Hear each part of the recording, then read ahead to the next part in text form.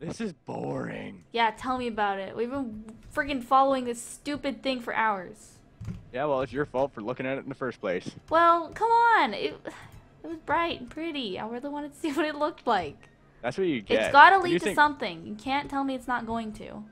When you think something's pretty and frickin' whatever you think it is, it doesn't always make it fun. What? Stop. Wait. What? What is that? You're a turtle. What is What? this? What's this? Who is this? Who's this weirdo? You oh, there's signs over here. Yuck. Crafter's birthday cake. Do not eat. What? Is Who it is this he? cake or who's Crafter? I'm gonna eat it. I mean, might as Um, what? You didn't see that? no, I didn't. What are you talking about? Okay, well, I guess we might as well sing this weird Crafter person happy birthday. All right. So um, oh, I fell in a you hole. know, Anyways, so on a three, on a two, on a one. Ha- happy birthday to you. Happy birthday to to you. you. Happy birthday, dear Crafter.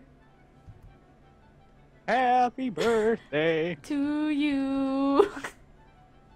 And you smell. Yay. what? Oh. How rude. What is this? What does this button do?